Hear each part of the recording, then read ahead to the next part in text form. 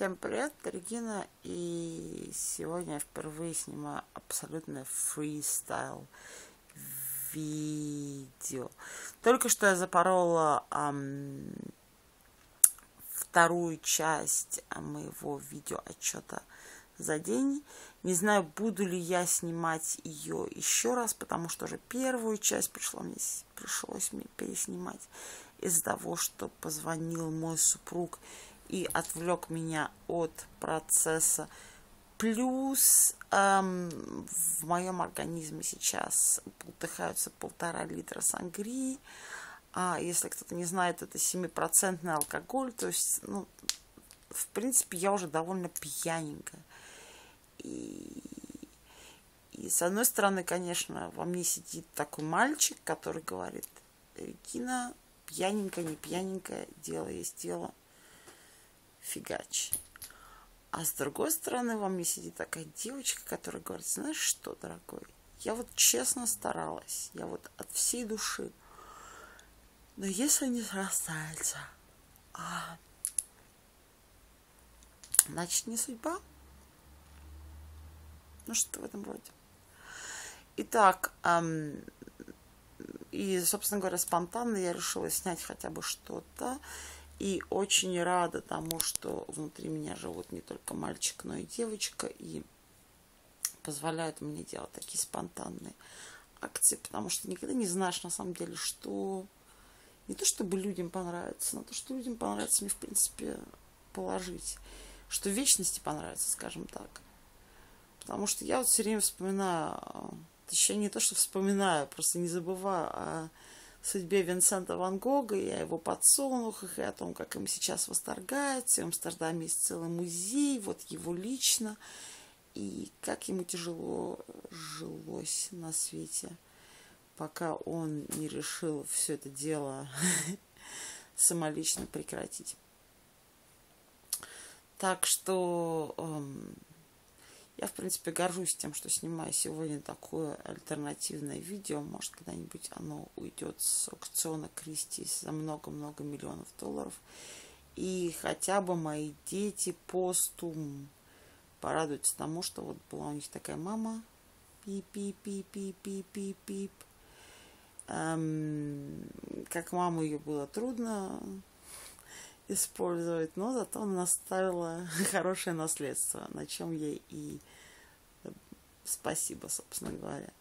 Не, честно, я вот чем дольше снимаю это видео, чем дольше я болтаю так фристайл, тем больше понимаю, какое это на самом деле большое человеческое счастье, вообще не заморачиваться, не пытаться там выставлять свет. То есть, как бы, если вы умеете все это делать, это супер просто. Я всегда всю мою жизнь была за то, чтобы как бы как сказал Александр Маккуин, для того, чтобы начать разрушать правила, вы должны сначала с ними познакомиться. То есть сначала вы должны ими овладеть. И тогда это будет разрушением правил. А если вы э, правила просто игнорируете, то вы, извините, дворняжка просто. Как бы человек, который совершенно ну, не при делах. Во всяком случае, э, в некоторых сферах человеческой жизнедеятельности как, скажем, моя э, мама. И что это была за история? Забыла это слово по-русски. Э, еди, единоборство, в общем, как бы вот это бойц, бойцовские все вот эти вот истории. Где-то на YouTube у меня есть видео э, э, под названием My Mom Says э, о четырех меч, мечах совершенно потрясающее видео, по-моему, до сих пор не имеет ни одного просмотра. И на самом деле это жалко, потому что а, притча, которую рассказала мне моя мама, она суперская. А, единственная проблема в том, что эм, моя мама всегда считала возможным для себя с, со ступени 0 сразу заскочить на ступень 4 я, в принципе, очень хорошо понимаю, потому что мне все время тоже хочется увидеть себя сидящей на поперечном шпагате, и вот эта вот вся работа, которая связана с эм, эм, изменением положения я не знаю вот этих всех анатомических выражений, но, в общем, как бы нога должна по-другому находиться. По-немецки называется Hüfte offen, то есть открыть, а, открыть бедра. Я не знаю, есть ли в русском языке адекватное а, выражение, но а, поверьте мне, ну я в принципе думаю, что почти все пытались в свое время сесть на поперечный шпагат, и, наверное, 99,9% людей поняли, что вот так просто это сделать не удастся. А моя мама все мечтает о том, чтобы типа вот из с нуля до в князе.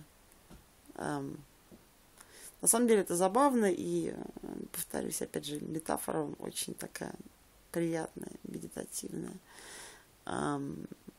И чем больше я болтаю, тем больше понимаю, насколько много вообще в моем характере, а, отпечатков характера моей мамы. Я тоже мечтаю, что я сейчас лежа э, на своей двуспальной кровати в одиночку в пьяном виде э, произведу на свет какой-то какой-то артефакт, который потом можно будет загнать задорого. Все, дорогие мои, всех люблю, целую реально надоело мне болтать. Э, большое спасибо э, Господу Богу за то, что Он придумал э, загнать в некоторые вещества, другие вещества по названием алкалоиды. И, честно, совсем недавно мне хотелось куда пойти, что-то поделать, там что-то намутить. А теперь лежу я на спинке и вспоминаю слова из рассказа, уж не помню, из какого рассказа, но речь там шла о пионерском лагере, о мальчике, который решил написать стихи в стенгазету. Он долго их э, пытался, стихи я имею в виду, э, подогнать под э, погоду, но погода все время менялась, и поэтому редколлегия постоянно стихи отклоняла. Николай Носов, насколько я помню, рассказ, но вот не спрашивайте меня, как рассказ называется. Но стихи я помню до сих пор. Э, стихи в окончательной редакции звучали следующим образом. Льется солнце луч на голову мне. Льется дождь на голову мне. Ничего не льется на голову мне – Эх, хорошо моей голове.